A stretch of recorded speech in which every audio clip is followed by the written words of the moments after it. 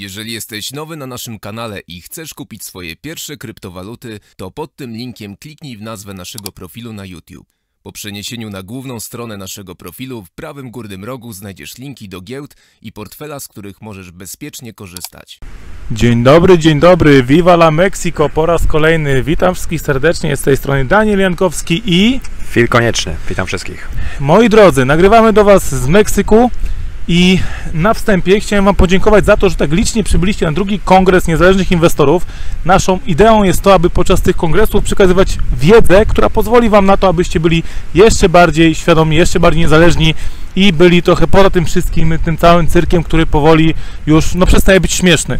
E, poniżej macie zapisy na trzecią edycję kongresu. Zapisujcie się proszę, odbierajcie swój dostęp po to, aby móc uczestniczyć w wydarzeniu, na którym będzie Filip Konieczny, na którym będzie Cezary Głuch, czyli Trader21, to będzie nasz gość specjalny, będzie również Kamil Gancarz, Radek Rygielski, no i będzie oczywiście debata. Ostatnia debata spodobała Wam się bardzo. Jest ona na naszym kanale Instytutu, więc możecie ją odszukać y, na, na naszym y, kanale kilka wideo wcześniej. No, tam był taki mały beef pomiędzy Sylwkiem a Kamilem Gancarzem. Komentujecie to naprawdę bardzo ciekawie. Myślę, że kolejna debata przyniesie kolejne smaczki, które będą, e, które przyjdą, mam nadzieję, do historii. Ale dobra, przejdźmy do konkretów. Słuchajcie, e, chciałem z Filipem porozmawiać o takich kwestiach, ponieważ macie aktualizację rynku co jakiś czas i od Filipa, i od nas, od Radka Rygielskiego, od Kamila Gancarza, więc wiecie na bieżąco, co się dzieje. Bardziej mi zależy na tym, aby skupić się na takich kwestiach ponadczasowych, żeby gdzieś tam sobie wyrobić pewnego rodzaju mental, mindset, sposób myślenia, pewne przekonania sobie w głowie pozmieniać, yy, albo też po prostu mieć inny punkt widzenia na pewne kwestie, no bo to potem z nami zostaje i to też pozwala nam korzystać z tej wiedzy, którą zdobywamy yy, wielokrotnie. I teraz taka abstrakcja jedna, Filip, od której chciałem zacząć. Dwa tygodnie temu byliśmy w Dubaju i co krok słyszeliśmy social distance, e, kazali nam zakładać maseczki, e, przy stole mogły się, nie wiem, chyba cztery osoby, reszta mogła stać dookoła, no po prostu absurd na absurdzie. Aktualnie jesteśmy w Meksyku, to jest chyba piąty dzień, jak się nie mylę.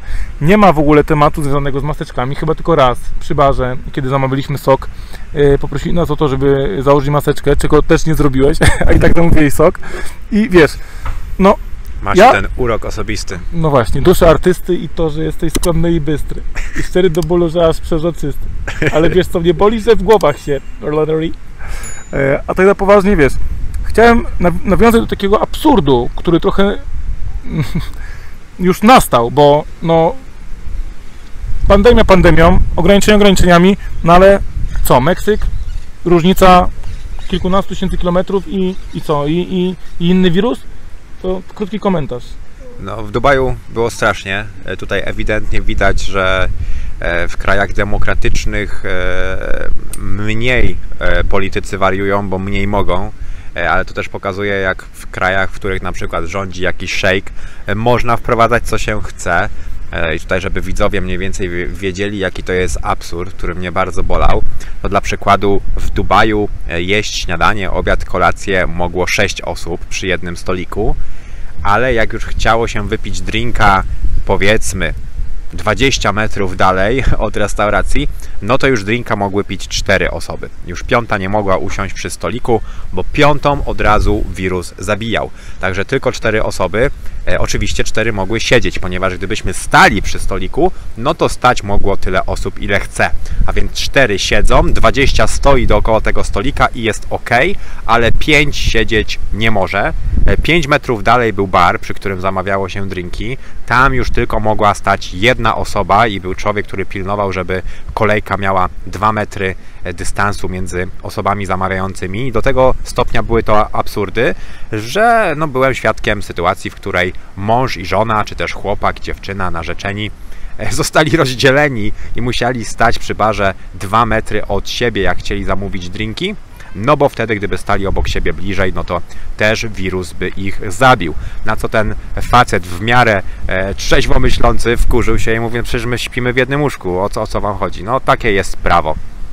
5 metrów dalej, maksymalnie 7 metrów dalej od tego baru była plaża. Tam już nie wolno było wchodzić po zmroku, bo tam wirus zabijał e, wszystkich. No i gdy e, porozmawiało się z takim powiedzmy kelnerem czy kimś, kto tam pilnował e, bezpieczeństwa i powiedziało mu się, że no stary, ale to jest nielogiczne, co ty teraz tutaj robisz.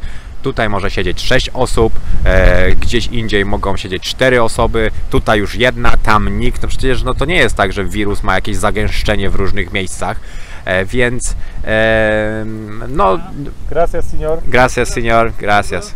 Gracias. E, gracias. E, ale cygarko sobie zapalimy dzisiaj wieczorem. E, To będzie z wąsem. I w każdym razie, gdy, gdy mówiło się takiej osobie, że to jest nielogiczne, no to nagle widać było reset w jej oczach, że po prostu mózg nie nadąża i odpowiadała, że that's the law, takie jest prawo. No więc no w tym momencie no wszystko można wprowadzić i powiedzieć, że nie wiem, można, trzeba skakać, ponieważ wirusa trzeba z organizmu wytrząsnąć i, i połowa ludzi będzie skakać, no bo that's the law, takie jest prawo. Także kompletny absurd. W Meksyku jest nieco lepiej. W Meksyku jest nieco lepiej, bo no po prostu no, mówią, żeby założyć maskę. Ja kiwam głową, mówię, że nie mogę i dostaję drinka, więc jest ok. w Polsce natomiast na lotnisku, gdy lecieliśmy do Dubaju, zostałem zatrzymany w Warszawie sześciokrotnie za brak maski. E, wygrałem. E, w drodze do Meksyku trzykrotnie, więc tutaj już mniej, mniej punktów zdobyłem za drugim razem. Poznają cię chyba. E, tak, chyba, chyba już mnie poznali. E, także no, no kompletna bzdura, no ale widać ewidentnie, że jeżeli już nie ma jakiej tutaj jakiejkolwiek logiki, no to w tym momencie wszystko można wprowadzić. No jeżeli, jeżeli kończy się logika, jakieś logiczne argumenty, no to w tym momencie można tak naprawdę zrobić z ludźmi e, wszystko. Kolejna sprawa, którą chciałem poruszyć, no to spis powszechny. Na Twoim kanale nagrywałeś dzisiaj też wywiad z Anną Kubalą. On niebawem zostanie upubliczniony. To jest kolejny taki trochę chyba zamach na naszą taką, wiesz, prywatność, tak? Jakbyś mógł opowiedzieć kilka takich absurdów, które wynikają w ogóle z tego, ponieważ teraz szliśmy tutaj, mm, żeby usiąść właśnie dla Was nagrywać i Filip powiedział, że to jest w ogóle pewnego rodzaju abstrakcja i paranoja, którą widzimy, Mm, ale no to może Filip wypowiedz się na ten temat. E, Jeżeli chodzi o spis powszechny, to trzeba nazywać sprawy po imieniu. To jest e, przesłuchanie Polaków. To jest narodowe przesłuchanie wszystkich Polaków, które jest nielegalne i które jest poczwórnie nielegalne. Na czterech płaszczyznach ono jest nielegalne. Polacy są straszeni, że jak nie wezmą udziału w tym spisie, dostaną 5000 złotych kary, co jest kompletnym absurdem. W ogóle e, kara ta, na, na podstawie której nas straszą, w ogóle nie dotyczy tego spisu. Sam spis jest nielegalny. Spis ma pytania w sobie, które też nie mają prawa zostać zadane, e, bo konstytucja na to nie pozwala. Także na czterech płaszczyznach można się w ogóle wybronić. No, jak ktoś chce, jak, jak to chce, tak może się bronić. Więc, więc e, tutaj w ogóle to jest kompletny absurd. E, No i tak jak, powiedziałeś, film pojawi się na moim kanale. Jeżeli nie chcecie brać udziału w tym e, narodowym przesłuchaniu, przesłuchaniu Polaków, mm, no to niedługo pojawi się film, będziecie wiedzieli jak to bez problemu można obejść. No dobrze, ale powiedz mi tak troszkę jeszcze więcej na ten temat. Co tu się od... ala, bo wiesz, no jest ustanawiane pewnego rodzaju no, rozporządzenie, tak? Przepis, który, no nie wiem, wymaga od nas no nie wiem, łamania konstytucji i innych rzeczy. Jest niezgodny, przepraszam, z konstytucją. I czy, bo wiesz, staram się to po prostu w pewien sposób tak, nie wiem, zrozumieć, jakoś tak unaocznić niektórym ludziom, co tu się w ogóle dzieje, stary, bo wiesz, ja się w tym wszystkim powoli gubię. Czy oni liczą na to, że my, nie wiem, będziemy, nie wiem, tak głupi, czy, czy, czy po prostu, no nie wiem, to jest efekt stada, że jak sąsiad zrobi, no to ja też robię po prostu ślepo, idąc za tym. Do czego to w ogóle prowadzi? Czy masz jakiś wniosek po dzisiejszej rozmowie w ogóle z, z, z Anną? E, Z restrykcjami jest tak, że one są troszeczkę jak płot.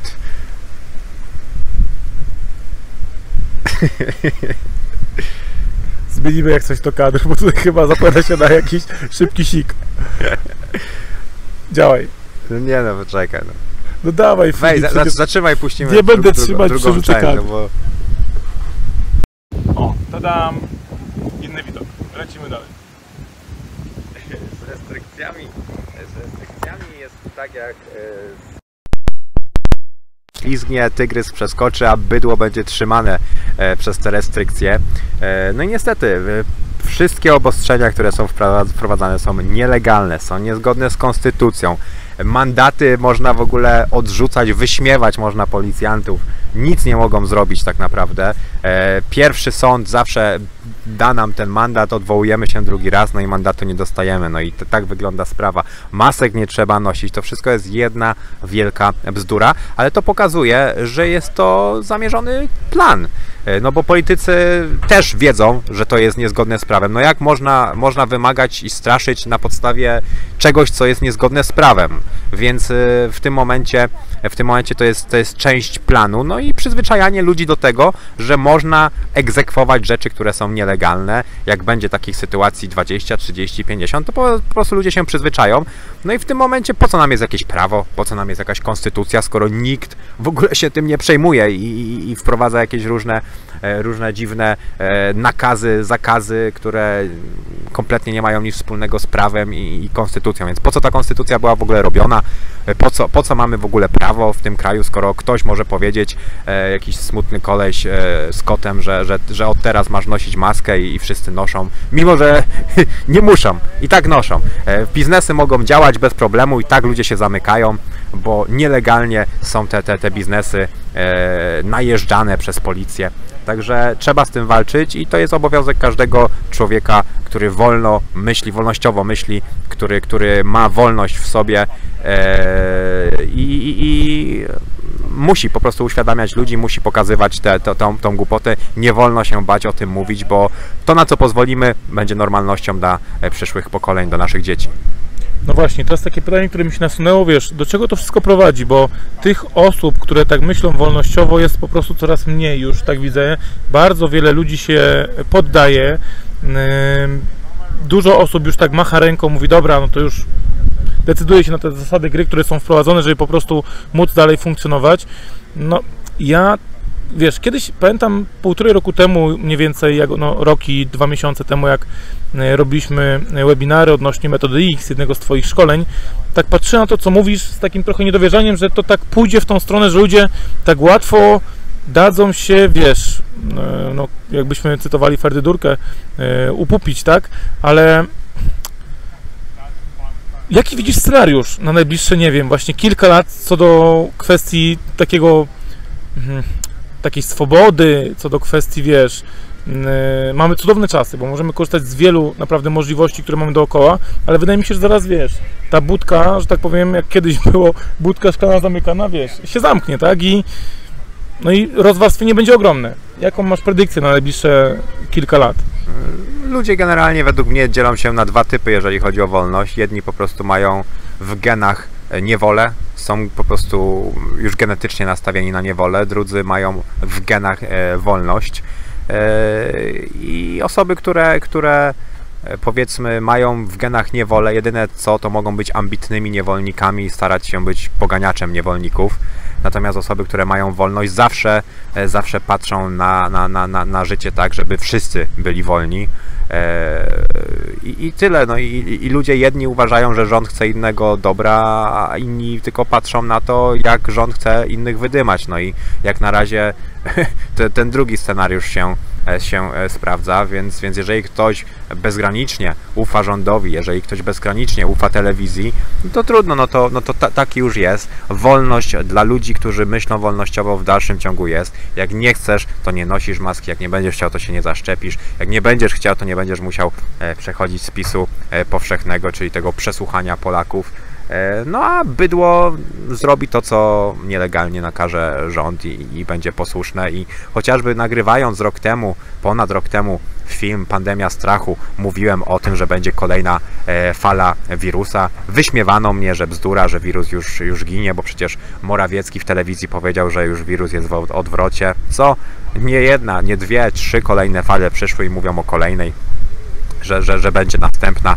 Gdy mówiłem ludziom, e, że będą kolejne lockdowny, to się śmiali i mówili, że społeczeństwo na to nie pozwoli. No i co? Rok jesteśmy w lockdownie. Mówiłem w tym filmie ludziom, że będą paszporty covidowe, paszporty szczepień. Wyśmiewali mnie od płaskoziemców, e, foliarzy, że w życiu coś takiego nie będzie jak, jak, jak paszport szczepień. No i co? No i są paszporty szczepień. Także No i no jest, jest, to, jest to je- jeden wielki plan. Ludzie, którzy trzeźwo myślą, widzą to. Zresztą dwa lata temu, jeszcze przed wirusem, e, dla mojego forum przecież robiłem prezentację dotyczącą niewolnictwa współczesnego. Mówiłem przecież wtedy o tym, że zbliżają się pieniądze cyfrowe, e, CBDCs. Jeszcze w ogóle o tym nie było mowy e, w tamtych czasach. Wtedy nawet ludzie śmiali się z tego, że e, Wielka Brytania walczy z gotówką, ponieważ nie jest health and safety, a dokładnie nie, nie, nie, nie, nie, nie, nie ma jakichś tam powiedzmy oznak, e, że, że jest bezpieczna dla zdrowia, dlatego starają się, żeby były płatności gotówkowe, bo na banknotach są zarazki. Pamiętam jak wtedy wszyscy się śmiali, że jaki to jest w ogóle absurd, e, że, że Wielka Brytania coś takiego robi. Część osób do mnie podchodziła po tej prezentacji przerażona, część z uśmiechem mówiła, no nie, no raczej za grubo poleciałeś, coś takiego nie będzie. No i co? Nawet nie było trzeba czekać 10 lat czy 5 lat, 2 lata. Tydzień w tydzień, tydzień w tydzień na każdych wiadomościach mówię o kolejnym państwie, o kolejnym kraju, który rozpoczyna pracę nad CBDCs. Mało tego, wpiszcie sobie, na, e, poszukajcie najnowszego artykułu na bankier.pl cyfrowy złoty. Miało nie być cyfrowego złotego, artykuł sprzed kilku dni, e, cyfrowy złoty jest nieunikniony. No i teraz połączcie sobie fakty. Numery telefonu macie już przypisane do, do nazwiska pod pretekstem niby walki z jakimś tam, nie będę mówił czym, bo tutaj YouTube tego, tego słowa strasznie nie, nie lubi. To jest kompletną bzdurą, bo jak ktoś chciałby coś zrobić źle i żeby nie było wiadomo, to bierze pierwszego lepszego bezdomnego i na niego rejestruje telefon. Jest, jest żadne zabezpieczenie tak naprawdę. Polacy już mają przypisane telefony, wiadomo kto, do kogo dzwoni, kiedy, kto z kim się spotyka. GPS-y namierzają ludzi, wiadomo kto obok kogo e, siedzi, kto e, z kim przebywa. Teraz dołączą Wam spis powszechny, pytania spis, ze spisu powszechnego, z kim mieszkacie, jaki macie status związku, czy jest on formalny, czy nieformalny, ile pokoi znajduje się w Waszym domu, czym palicie, węgiel, drewno, Pytania ekogroszek, o religię. pytania o religię, jaka jest w ogóle niezgodna z, z konstytucją, nie mogą was o to pytać. No, To, to jest chociażby jedna z rzeczy, która już eliminuje całkowicie ten spis. Pytanie o to, jaką macie religię, E, kto z waszych członków rodziny mieszka za granicą. E, Pytania krzyżowe. Wy musicie mówić o swoich e, rodzicach, dzieciach, o wszystkich. Oni mówią o was. Musicie wpisać PESEL, dom, kiedy wasz został oddany do użytku. Wszystko. Także brakuje tylko, abyście podawali numer buta. No i teraz pytanie, kto będzie miał te dane? Kto będzie miał do nich dostęp? Jaką mamy pewność, że te dane nie wyciekną? Jaką mamy pewność, że te dane nie zostaną przekazane jakiemuś rządowi obcego, obce, obcemu mocarstwu, które będzie mogło je wykorzystać? To jest spis, Wykorzystane przeciwko nam. to jest spis powszechny bydła. To jest spis bydła, a nie, a nie Polaków. E, mało tego, ostatnio informacja sprzed tak naprawdę tygodnia. Dane 20 tysięcy policjantów wyciekły. Jaką mamy pewność, że te dane nie wyciekną? Sposób logowania w ogóle do tego spisu powszechnego to jest podanie e, nazwiska panieńskiego matki. Przecież w każdej większej wsi to każdy się za kogo, kogoś innego może zalogować. Przecież każdy wie, jak, jak matka tego czy tamtego ma, ma na nazwisko panieńskie. Bzdura kompletna, dane w ogóle nie są chronione. Jest, jest kompletny, kompletny absurd. To wszystko zmierza do zniewolenia ludzi. Jak już będą mieli bydło spisane, to tylko i wyłącznie pozostaje pieniądz cyfrowy. Będą wiedzieli, ile zarabiacie i nic już wtedy nie zrobicie. Dlatego trzeba z tym walczyć i tak naprawdę trzeba walczyć z tymi wszystkimi ludźmi, którzy twierdzą, że ktoś jest płaskoziemcą, ktoś jest foliarzem, bo to przez nich jest to wprowadzane. To przez nich jest to wprowadzane przez tych wszystkich płaskoekranowców. płaskoekranowców. Słuchaj, takie dwie jeszcze rzeczy. Jedna rzecz, która przyszła mi na myśl, to, to jak byliśmy w Dubaju, kiedy ty powiedziałeś, że niektórzy ludzie wgrywają sobie taki program do głowy, który jak gdyby bardzo mocno deprecjonuje ich jak gdyby takie, nie wiem, umiejętności, możliwości, które w życiu osiągną, a to było w momencie, kiedy siedzieliśmy e, przy obiedzie akurat i tam podawali nam do stołu różnego rodzaju napoje, między innymi herbatkę, już nie pamiętam jaką ty pijesz, cytryną, bez cytryny, czarną, yy, czy, czy, czy, czy, czy białą, czy, czy, już nie wiem o chodzi z tymi herbatami, już tyle jest tych, tego rodzaju, ale yy, powiedziałeś, że zobacz, ta kobieta ma taki mental jak gdyby służenia innym, że ona nigdy jak gdyby, wiesz, więcej jak gdyby poza to nie wyjdzie. To mi tak dało do myślenia bardzo mocno. I teraz takie pytanie, bo kiedyś gadaliśmy o takich programach, że ludzie sobie wgrywają pewne programy w głowie i jak to bywa czasami przy aktualizacji softu w telefonie, to nie warto klikać aktualizuj, ale w głowie warto by było klikać aktualizuj. I teraz rozwiń tą myśl w ogóle, co, co, co, co, co miałeś, wiesz, na myśli i mm, bo to taka chyba głębsza rozkmina, bo już kilkukrotnie o tym rozmawialiśmy. No tam akurat miałem taką akurat myśl o tym, że część osób po prostu godzi się na to, kim jest, jaki ma los i nie walczy po prostu o więcej. E, I tak e, ta kobieta bardzo mocno mi się skojarzyła ze mną, kiedy pracowałem w McLarenie. Akurat no wtedy miałem, podejrzewam, o wiele większe zarobki niż ma to kobieta, o wiele lepszą pracę, e, o wiele lepsze stanowisko, ale to nie ma znaczenia, ponieważ to pokazuje mental i pamiętam, że jak pracowałem w McLarenie i widziałem te wszystkie samochody sportowe, które kosztują minimum milion złotych, to nie brałem tego do siebie tak, że no robię dla kogoś auta, tylko bardziej patrzyłem na to, dlaczego ja mam takiego auta nie mieć. Przecież 10 McLarenów dziennie McLaren wtedy robił. Mnie wysłano e, jako menadżera od logistyki po to, abym rozwiązał ich logistykę, bo tam się mocno za, e, zakorkowali, a chcieli produkować 20 samochodów dziennie. I tak sobie pomyślałem, kurczę, McLareny, Ferrari, Lambo, Maserati, Bugatti, wszystkie jakieś sportowe, sportowe samochody, e, marek tych naliczyłem kilkanaście. Nawet jakby każdy robił takich samochodów 20 dziennie średnio, Porsche robi zapewne więcej, 911, no są powiedzmy jakieś Pagani Zonda, których robi się mniej, ale nawet średnio licząc, 10 takich firm po 20 aut dziennie, to jest 200 aut na dzień. To znaczy, że dzisiaj 200 ludzi weszło do salonu i wyjechało autem za milion złotych. I jutro 200 ludzi pójdzie do salonu i wyjedzie autem za milion złotych. I pojutrze też tak będzie. A teraz rynek wtórny. Takie auto, które kupimy 911 za milion, milion dwieście w tej chwili, spokojnie można, można odkupić później za pół miliona. Takie auta też są sprzedawane po jakimś czasie. Więc jak weźmiemy pod uwagę to, że śmiało 200 osób dziennie kupuje auto za milion, 200 osób dziennie kupuje auto za pół miliona, przecież tych ludzi bogatych jest dużo i to bardzo mocno otworzyło mi głowę i myślałem o tym, dlaczego ja mam taki nie być. Przecież każde auto, które ja produkuję, to jest milioner. Czemu ja mam nie być tym milionerem? Skoro 200 dziennie może sobie pozwolić na auto za milion złotych. A teraz, żeby kupić sobie auto za milion złotych, no ja nie mam auta za milion złotych na przykład, tak? No i ile ja bym musiał mieć pieniędzy, żebym kupił sobie auto za milion złotych. No są osoby, które lubią bardzo e, samochody, ja akurat nie. E, aczkolwiek no ja, ja bym najpierw kupił sobie dom, drugi dom, kilka mieszkań pod wynajem, ziemię, złoto, krypto, e, poinwestował w innych krajach i dopiero jakbym nie miał co robić z pieniędzmi, miałbym pewne, nie wiem, 30, 40, 50 tysięcy złotych miesięcznie, e, powiedzmy takiego rentierskiego e, przychodu, wtedy mógłbym myśleć o aucie za milion złotych, więc ile ci ludzie muszą mieć pieniędzy, żeby takie auto kupić? I to mi bardzo mocno otworzyło głowę i pokazało, że tak naprawdę można w życiu wszystko. Potem wystrzeliły e, rok czy dwa lata później kryptowaluty i faktycznie doszedłem do takiego samego poziomu, e, za co jestem e, losowi bardzo wdzięczny, ale dużo osób tak nie myśli. I do, dużo osób myśli tak służalczo, na zasadzie no ja jestem kelnerem, tutaj muszę ludziom usługiwać. Mi się tej kobiety tam w Dubaju bardzo zrobiło żal, że ona tak... Tak, tak no, prawda.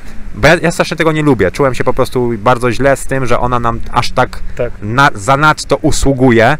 Eee, strasznie było to napięta taka atmosfera dla mnie eee, i wtedy właśnie zacząłem tak myśleć o niej, czy ona ma taki mental, że po prostu tak już jest, że ona, ona będzie kelnerką do końca życia, a tutaj przyjeżdżają jacyś bogaci ludzie do, do drogiego hotelu i, i, i ja im muszę usługiwać, no bo ja na jej miejscu bym też chciał być takim bogatym, No dokładnie. więc, więc tutaj mental jest bardzo ważny i podejście do tego, jeżeli ktoś nas słucha, e, to fajnie jakby zwrócił na to uwagę, jaki ma mental i żeby chciał od życia więcej.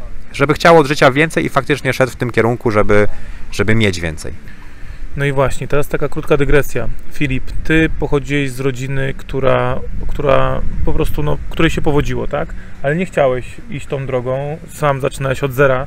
W wieku chyba dzień po swoich 18 urodzinach wyjechałeś, tak? Nie, po maturze dzień. Po maturze, przepraszam. 19. Wyjechałeś e, do, do Anglii, protodowałeś na magazynie rzeczy, piąłeś się po szczeblach kariery. Jak działaliśmy razem, no to i tak e, jeździłeś na tirach, e, bo zabezpieczałeś się przed pewnymi rzeczami, budowałeś pewien fundament, który pozwolił Ci na to, że stałeś się człowiekiem niezależnym finansowo już do końca życia, być może nawet Twoje dzieci by mogły nic nie robić. Ale taka jedna rzecz, która przyszła mi do głowy, to to, że zobacz, takich ludzi jest więcej dookoła, tak samo jak ja. Ja też nie miałem jakiegoś takiego mega handicapu, nie miałem źle w domu, bo nie zaznałem biedy, nie wiem, nie byłem bity, nie miałem jakiejś patologii w domu, no, musiałem jako młody chłopak sobie zacząć radzić, utrzymywać dom w pewnym etapie, ale miałem, wiesz, kochającą mamę, brata, od którego czerpałem bardzo dużo, e, patrząc na to, jakie robi działania, e, ale też sam po prostu widziałem, że inni ludzie, tak samo jak ty, skoro oni do pewnej rzeczy doszli, no to dlaczego ja mam do tego nie dojść, tak? I budowałem sobie taki bardzo mocny fundament, który ostatnio liczyłem, że stary, to jest niesamowite. Po 17 latach, bo zacząłem w wieku 13 lat świadomie już się rozwijać. I po 17 latach dopiero poczułem, że wiesz, że to jest taki kierunek, gdzie mogę sobie powiedzieć, wow, nie? 17 lat pracowałem na coś i dopiero zacząłem przyspieszać hiperbolicznie. To jest stare 17 lat, kumasz bazę? Yy, niesamowity okres czasu. Ty też budowałeś fundament od, od dłuższego czasu, ale zobacz, mówiłeś o tych autach, o tym wszystkim. Jeździsz autem nie za milion złotych, jeżdżę autem, które traci rok do roku na wartości. Jest to, BMW 520D, bardzo fajny model. Zchipowałem go, warte 100 tysięcy złotych w pakiecie Air Design. Nie jest to auto, a mógłbym sobie pozwolić, nie wiem, na, na, na Bentleya, na, na inne rzeczy. I zobacz, jedną prostą jeszcze taką rzecz, do której chciałem nawiązać. Byliśmy w Dubaju nie rajcowało nas to, żeby, nie wiem, jeździć sportowymi samochodami po Dubaju, nie rajcowało nas to, żeby nie latać helikopterem. Woleliśmy pojechać, zobaczyć Burj Khalifa, pojeść trochę ich rzeczy, e, żeby posmakować kuchni e, różnorodnej, która tam jest. Na środku pustyni zjeść sobie kurczaka, który był tam gdzieś zakopany w ogóle, jakieś palenisko było zrobione i on tam w tym palenisku e, był, był, był pieczony. Mm. I wiesz, to jest taka rzecz, skąd u Ciebie akurat taki kierunek, że Ty i tak nie żyjesz ponad stan, jakoś tak świadomie chcąc budować e, to swoje bogactwo, a bardzo często ludzie mają tak, że jak zarabiają większe pieniądze, to bardzo mocno wzrasta im taki poziom konsumpcjonizmu. Właśnie wtedy pojawiają się te auta e, drogie, e, jakieś niepotrzebne wydatki. Jak to u Ciebie w ogóle wiesz? Skąd, skąd taki, taki, taki mental, taki mindset?